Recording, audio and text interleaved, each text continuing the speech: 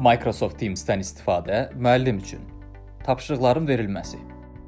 Daha öncəki videomuzda müəllim kimi platformaya tədris materiallarını yükləmək, onlayn mühazirələr keçirmək və tələbələrlə əlaqə saxlamaq imkanları izah olundu.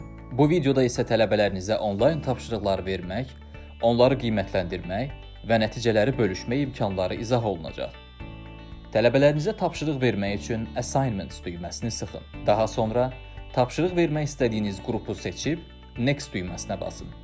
Tapşırıqları birbaşa Assignments bölməsindən açılmış pəncərədə Create düyməsinə sıxıb yeni çıxan menyudan Add Quiz seçimini edin. Forms başlığı adı altında açılmış ekranda New Form seçin.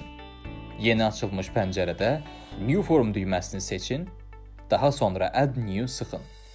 Qarşınızda müxtəlif növ suallar yaratmaq üçün panel açılır.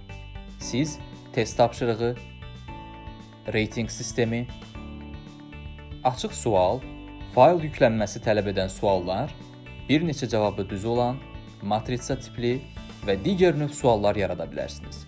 Sistemin imkanları genişdir. Tapşırıqları formalaşdırdıqdan sonra işlədiyiniz pəncərəni bağlayın. Narahat olmayın. Sizin bütün addımlarınız yaddaşda saxlanılır. Microsoft Teams platformasına qayıdıb Assignments hissəsində Create düyməsini sıxın və yeni açılmış menyudan Add Quiz seçin.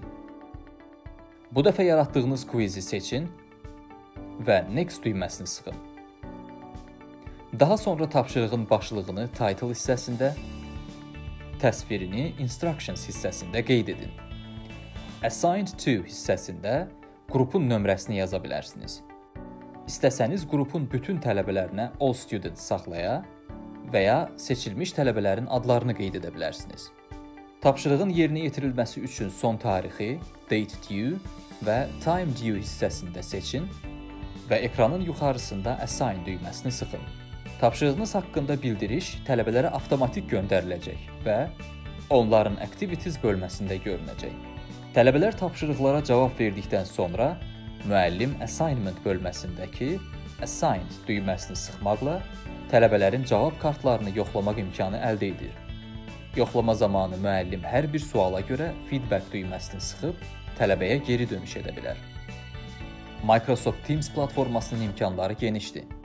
Müstəqil şəkildə daha çox funksiyonalı araşdıra bilərsiniz. Məsafədən tədrisin qurulmasında sizə uğurlar arzu edirik.